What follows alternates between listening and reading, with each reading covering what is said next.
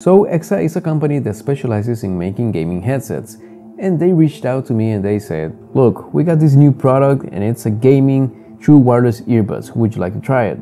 And I said, gaming true wireless earbuds.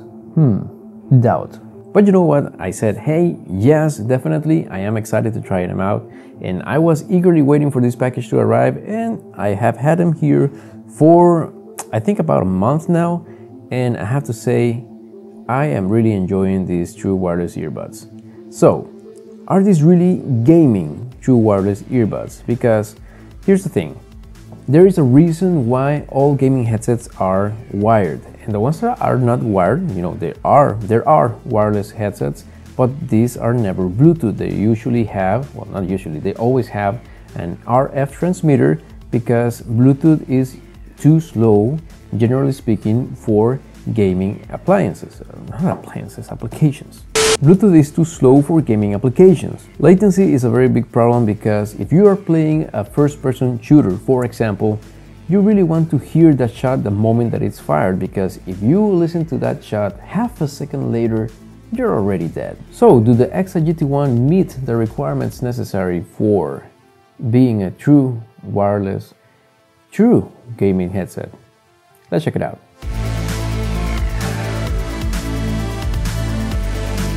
So let's start by what you get in the box. First of all, the box is really nice. It has a very nice theme. It's really nice. It has a very nice theme. It's all black with some purple accents and we can see on the features listed in the box 38 milliseconds, ultra low latency. That's a very bold promise right there. It has one touch switch for game mode and music mode, so that's interesting. And it says 30 hours of ultra long battery life. So that's very, very promising. All right. Upon taking it out from the cover, I really like the fact that this has a magnetic magnetic lid. I think magnets give everything a premium feel. So in the box you get, of course, the manual, you get the true wireless earbuds, of course, and you also get some extra silicone tips from from, that have different sizes so that you can adjust them to best fit your ear canals.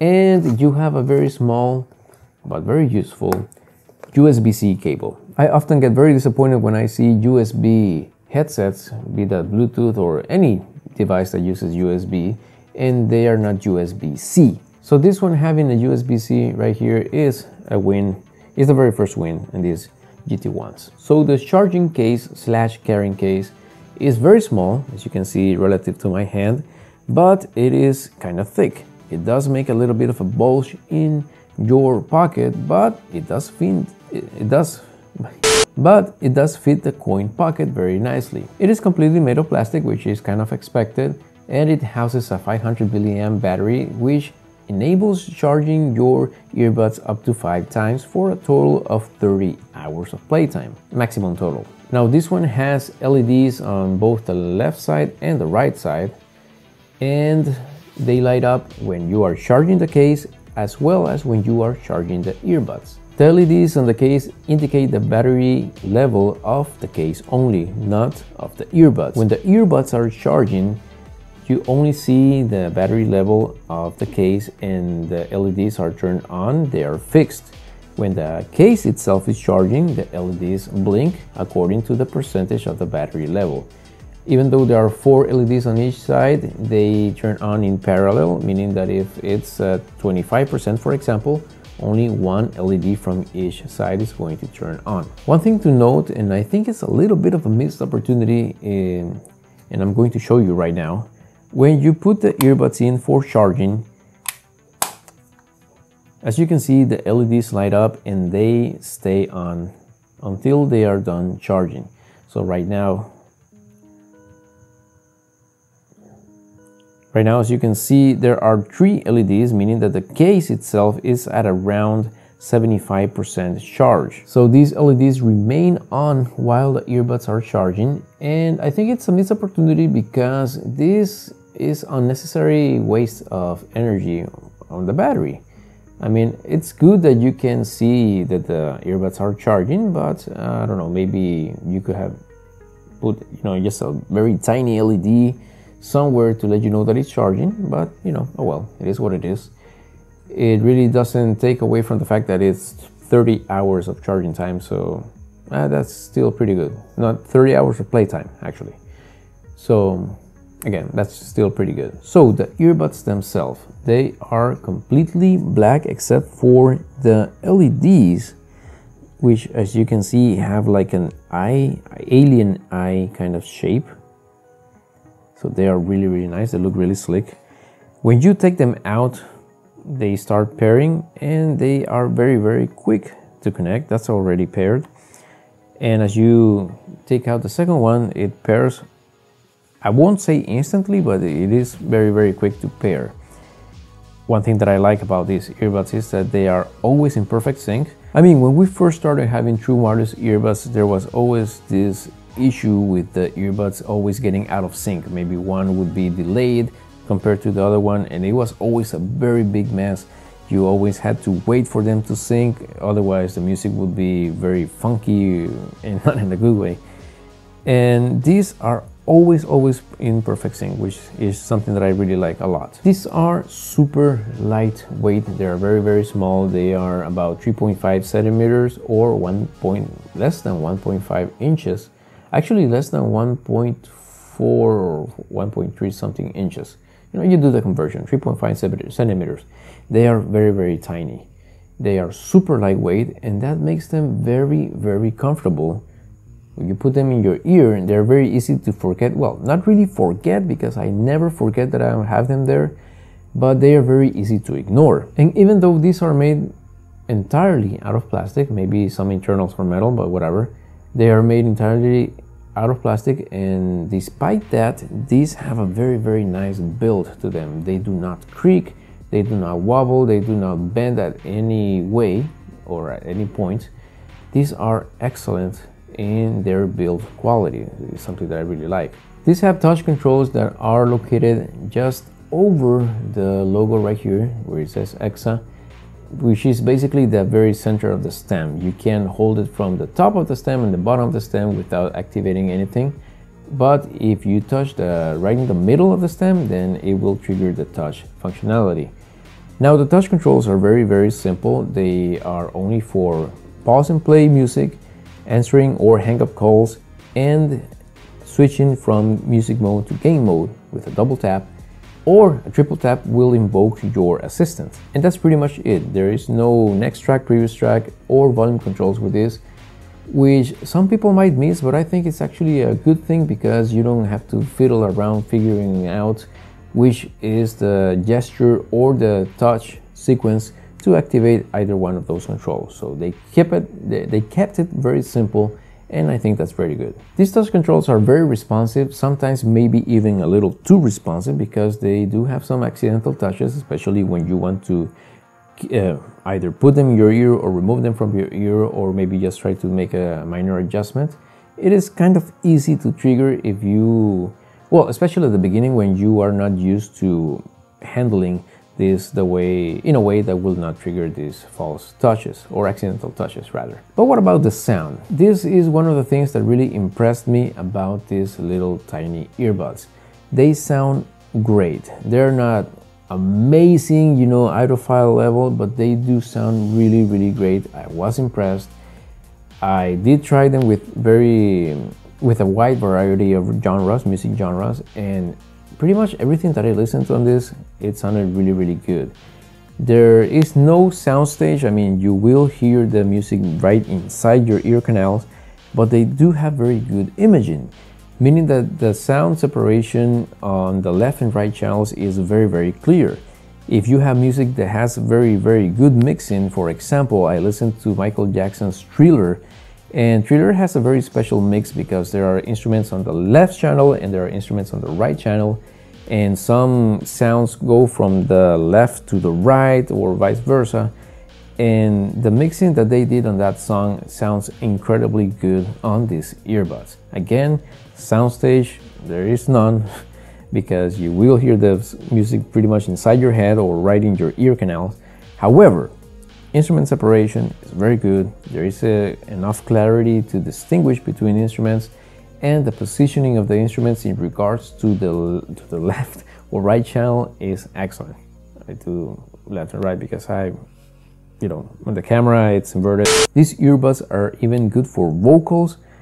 Like I said, anything that I listen to this, I found it to be very, very pleasing. What about calls? One thing that concerned me about this type of earbuds being so small is that the microphone is really far away from your mouth. So I really had very low expectations regarding the call quality, but how about you listen for yourself?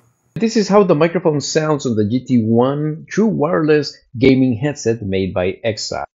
I think it sounds pretty good. There's a good amount of voice compression, which helps in clarifying the voice clarity. Clarifying the voice clarity. It helps in clarifying the voice, making it very clear for people to listen to when you are on a voice call. This is basically how it sounds like when you are in a call with these uh, true wireless earbuds. Now, I have been listening to it and I think it sounds really, really good. When you have both of them paired, only the right microphone, only the right microphone picks up the voice.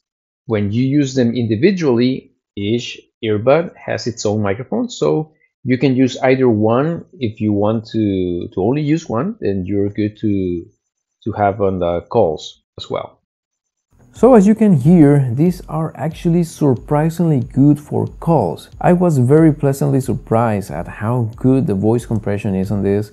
They do a good enough job at isolating your voice from the background. That's not to say that these are noise canceling in any way, shape or form.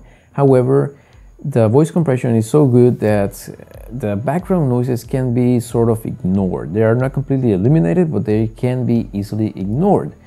Anytime that I have made a phone call with this, I have never had to repeat myself, and that really does say a lot in a good way about these earbuds regarding voice calls. Even though the microphones are very, very far away from the mouth, the voice is picked up very, very clearly, and I guess, well, the compression helps a lot with uh, making the voice clearer, but be that as it may, the bottom line is that these are excellent earbuds for calls.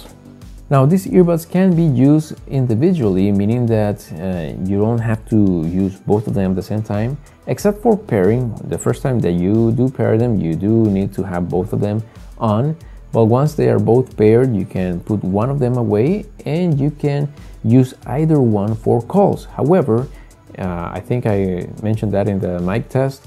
When both of them are paired, when you are using both of them, the right one is the one that will have the active microphone. So you surely recall that I mentioned that these have a game mode. So what exactly is that? Now it might be obvious to you, but it wasn't obvious to me.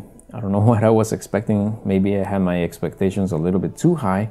But when I heard game mode, I was actually expecting something of a wider soundstage, maybe a virtual surround or something like that, but that's not exactly it. So whenever I activate a game mode, which you do by double tapping on the middle of the stem on either one of the two earbuds, you do hear an audible game mode on. And when you switch back to music mode, you hear music mode on. And I really couldn't tell the difference at first. I had a lot of trouble figuring out what was the difference. I was maybe expecting uh, if not a virtual surround ambient or environment or you know soundstage, maybe the bass or equalization or something different in the music mode. However, I did not really hear or listen to any difference. And it was not until I started playing several games and the one that actually led me to figuring out what it was was Clash of Clans. I know that's kind of a silly game to to use to find to figure this out but you know. Anyway the game mode actually activates the ultra low latency mode on these earbuds. When I saw the 38 milliseconds ultra low latency in the box I actually thought that it referred to it being a permanent state of the Bluetooth earbuds so I guess this is why I was expecting the game mode to be something else entirely. But the truth is that the game mode activates this 38 millisecond ultra low latency. And I have to say, it is really, really, really good. You do not perceive the latency. I mean, 38 milliseconds is what?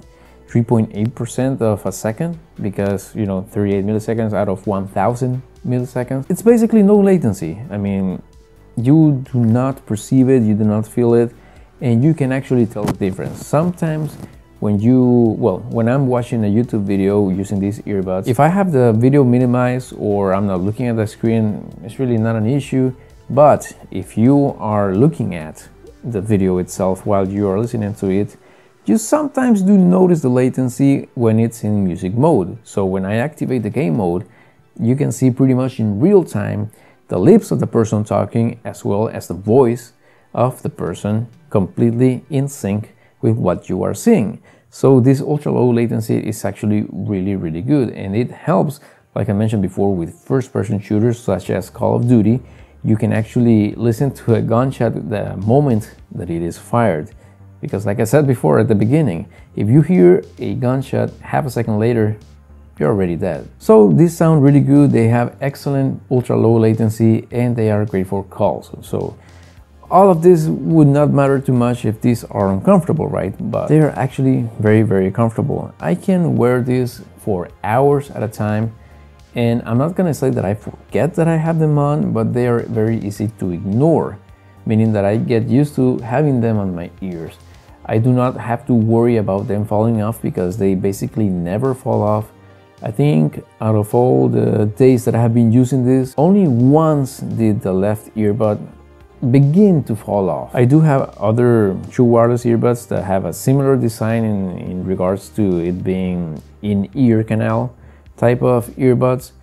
And those I have to be constantly adjusting. Well no matter what I'm doing I have to be constantly adjusting and they become a bit of an annoyance. Well not a bit a lot of an, a major annoyance but not these ones. These ones, you put them in your ears and they stay there. I use the, smaller silicone tip. I use that silicone tip with every single earbud that I ever wear. I always use the smallest ones. And these are one of the few earbuds that never fall off. I have had uh, I have had others that are smaller than this. You know, basically the similar kind of design without the stem and those also fall off unless I kind of like screw them so to speak. I have to make this screwing type of motion to really get them inside my ear canal for them not to fall off. Not this ones. These ones because they are wide enough and they have the, the little stem. And these are also so lightweight that gravity is not really a problem with this. So you set them on. You can you can forget them. I don't forget that i have them. I do feel them. That's why i can't forget that i have them but they are so easy to ignore because you don't have to be adjusting them all the time.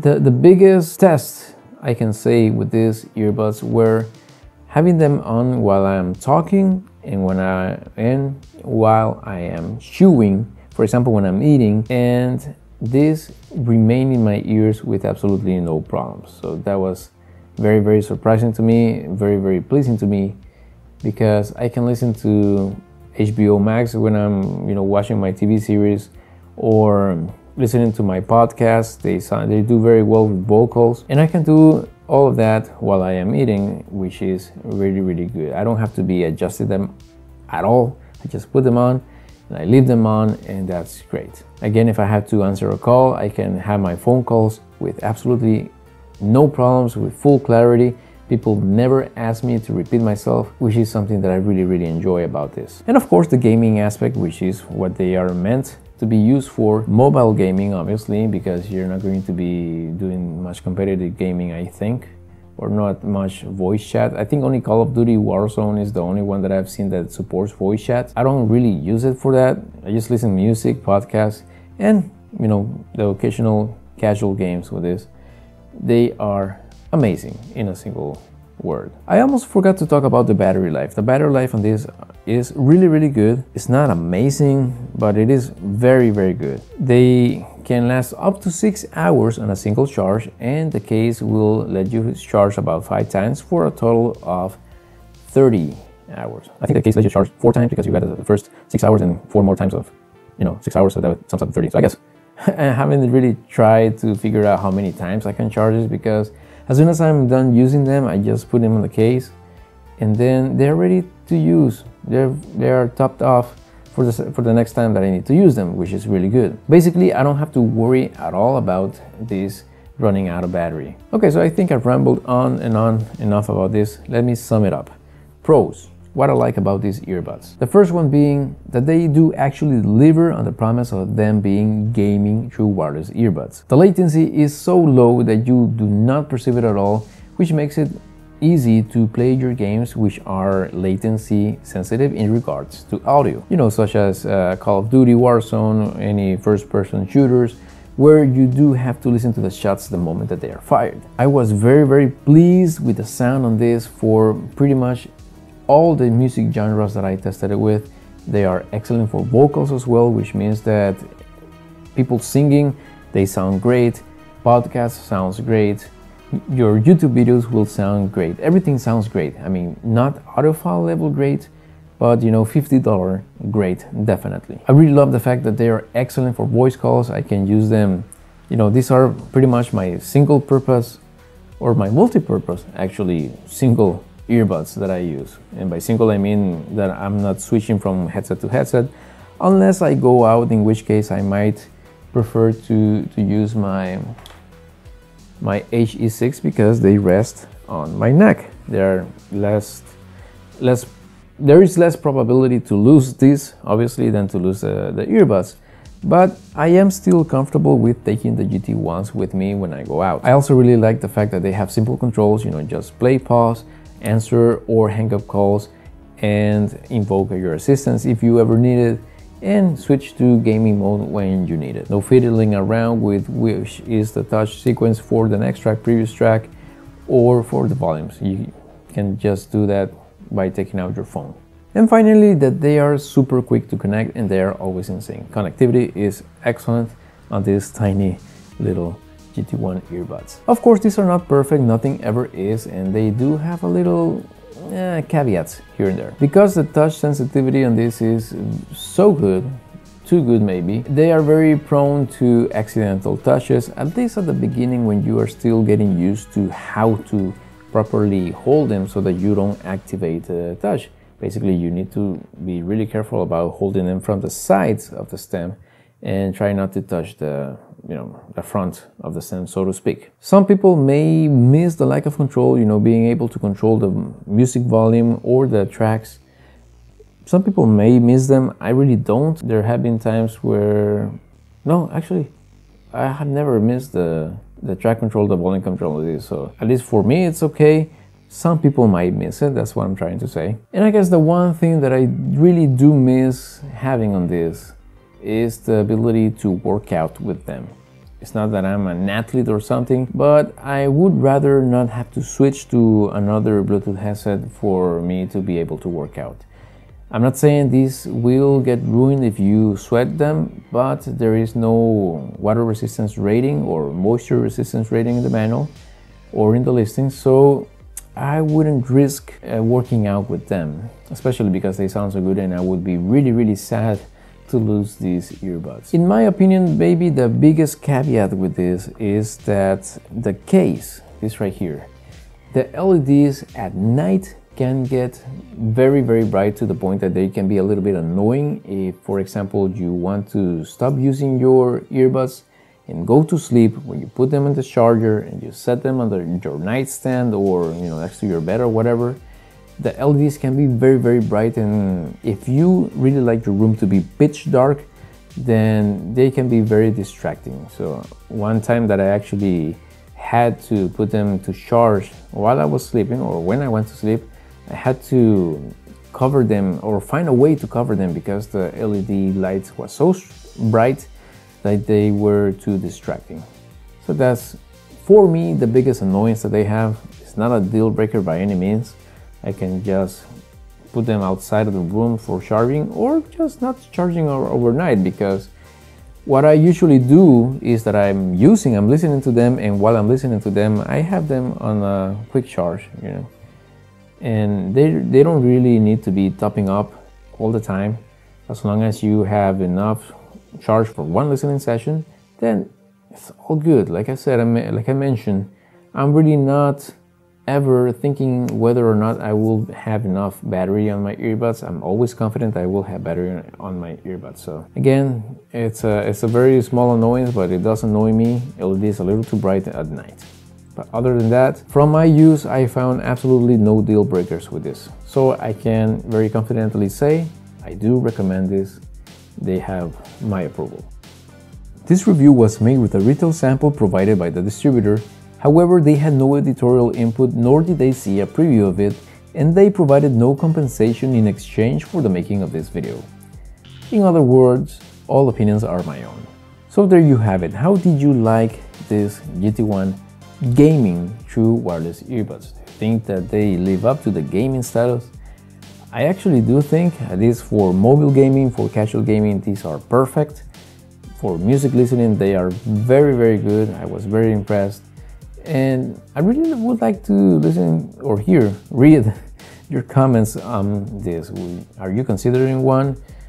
Is there something that you would like different about this? I don't know. Or do you have any suggestions about similar earbuds that you would like me to try? So I really hope that you found this video helpful or at the very least entertaining.